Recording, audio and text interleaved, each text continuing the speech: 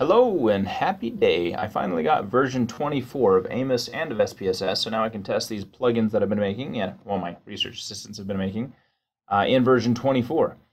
So right now there's only one available.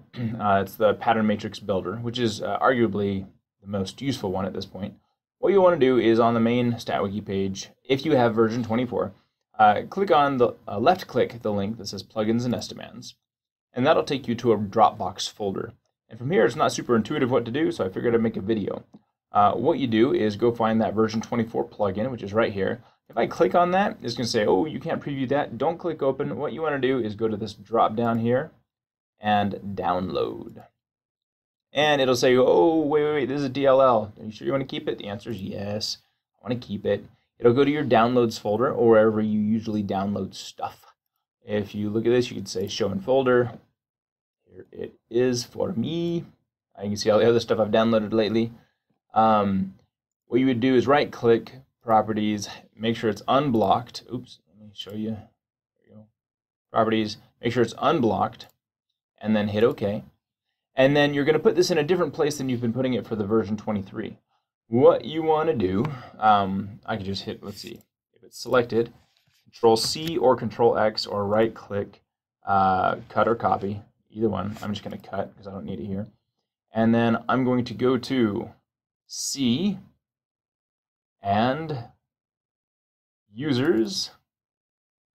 And then whatever my primary user uh, account is. For me, it's Jay Gaskin. And then app data. So if app data isn't there for you, what you do is you go to view at the top. Usually it's defaulted to home. You'll go to view and then um, you want to check the box for hidden items. Make sure that is checked, and then that will show up. So if I uncheck it, you can see, oh, just disappeared. Go here. App data disappeared. If I check the box for hidden items, it refreshes and app data shows up. So go to app data. Inside app data, go to local. Inside local, go to Amos development. Inside that, Amos and version 24 and plugins, and here we are. You can paste it in here. Right click, paste, and you'll have pattern matrix builder for Amos version 24. And this works. I have tested it. I will prove it to you right now. Let's see. Let's go to Amos and SPSS.